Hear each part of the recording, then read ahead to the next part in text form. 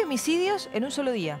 Sí, claro. Eh, hablábamos de un hecho en Ingeniero Budge, esto es partido de Lomas de Zamora, que lo contamos extensamente hace unos minutos.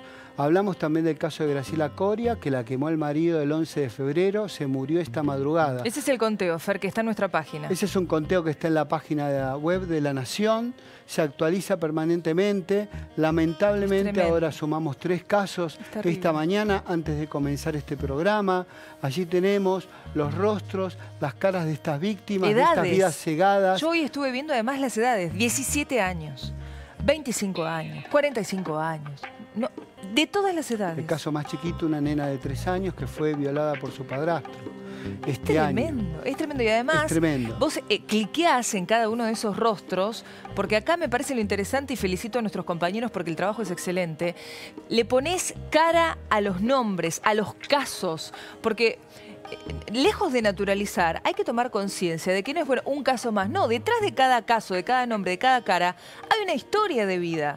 Hay madres, hay chicos que quedan huérfanos, solos, porque el padre va preso, o porque el padre se mata, porque la madre la matan. Entonces vos cliqueas en cada uno de los rostros y detrás tenés la historia de vida de la persona. Esto es tremendo. Sí, aparte vamos encontrando casi un denominador común que es víctimas que quieren tener una vida que en los conflictos tienen casi una actitud pasiva, en algunos casos mujeres que intentan salir adelante y que entienden, llegan de una vez por todas a entender que no pueden seguir las situaciones en las que estaban, pero que quieren avanzar, y que tenemos estos hombres que les impiden todo, que a través del poder, que a través de la fuerza, de la fuerza homicida, les cuartan cualquier posibilidad de decisión. ¿sí? Algunos casos son muy sórdidos y, requieren de un análisis un poco más profundo.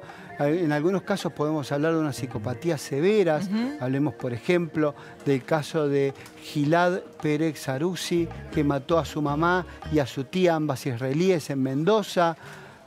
Vaya a saber por qué caso, pero en general lo que tenemos son mujeres que quieren salir de situaciones de violencia doméstica, de violencia en, sus hogares y que son asesinadas. En la propia casa. En el lugar donde deberías sentirte más seguro que en ningún otro lado. Es tu hogar, tu casa. Eh, eh, entre esas cuatro paredes que vos misma construiste con tu marido, con tus hijos en el día a día, cuando estuvo Corina acá en el piso, el caso de ella que fue tan emblemático porque a raíz de su caso se empieza a hablar de femicidio, ¿verdad? Se le pone el nombre a esta atrocidad. Ella nos contaba un día estuvo pegándome desde las 4 de la tarde hasta las 11 de la noche para que yo le diera mi clave y mi acceso a mi mail, porque él fabulaba que yo lo estaba engañando, me había aislado de todos, me pegaba delante de mis hijos, me revoleva el plato de comida si estaba frío.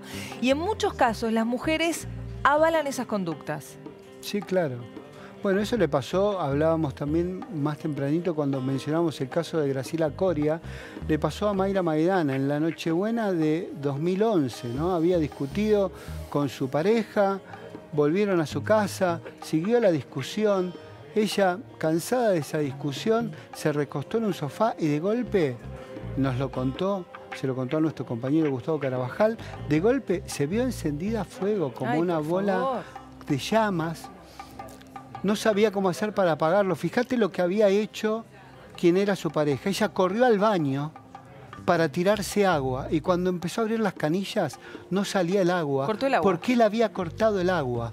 Providencialmente, y por eso vos recordabas bien el caso, tenían una pileta de lona en el patio. Ella corrió y se tiró adentro de la pileta de lona para apagar las llamas que la hacían arder. Corrió de vuelta al baño porque lo que le quedaba de jirones de ropa carbonizada, se le habían pegado el cuerpo y le ardía todo el cuerpo. Y ella se quería, nos contó, me quería sacar el corpiño y se me iban saliendo los pedazos de piel. tiene el 60% del cuerpo quemado, no ve del ojo derecho, tiene un audífono en el oído derecho porque desde ahí no escucha.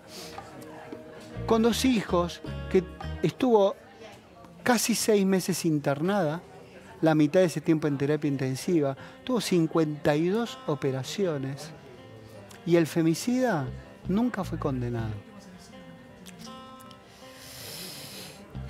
Es tremendo. Es tremendo. Es terrible. 36 femicidios en lo que va del año. Me parece que ahora sí estamos superando el número del año pasado, Fer. ¿eh? Me parece que a esta altura sí, y es lamentable. Esperemos que al final del año no sea así. Lo que sí, como decíamos al principio, esto es una epidemia. Sí y no le podemos sacar los ojos de encima. Totalmente, hay que seguirlo más de cerca. Gracias, Fer. Siempre es un placer tenerte con nosotros. Ahí estábamos viendo, pueden ingresar a nuestra home de, La Nación y ahí tienen este sitio interactivo en donde les decía, es interesante porque hablamos de un caso y otro caso y un quinto caso. Detrás de cada caso, de cada imagen que nosotros ponemos en pantalla, hay una historia de vida y es importante que, que las conozcamos. Otro de los